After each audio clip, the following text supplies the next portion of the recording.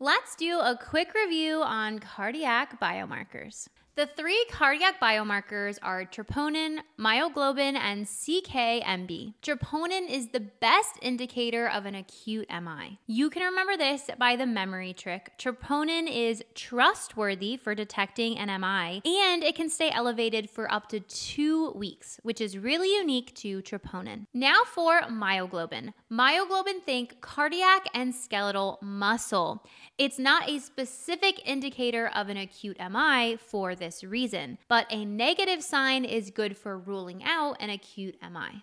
And lastly, we have CKMB. This is an enzyme released when cardiac, muscle, or brain is damaged. So it's a cardiac specific isoenzyme, but it's less reliable than troponin. Remember, troponin is trustworthy. That's all for a quick review of cardiac biomarkers. You can find more cardiac information and all information for nursing school in the complete nursing school bundle. Happy studying, future nurses.